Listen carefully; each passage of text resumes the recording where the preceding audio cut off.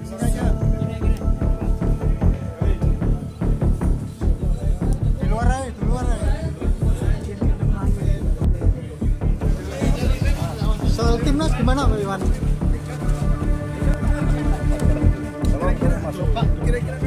terkait pernyataan Bapak bilang eh, demo Aremania di mobil mobilisasi? Yang demo Aremania minta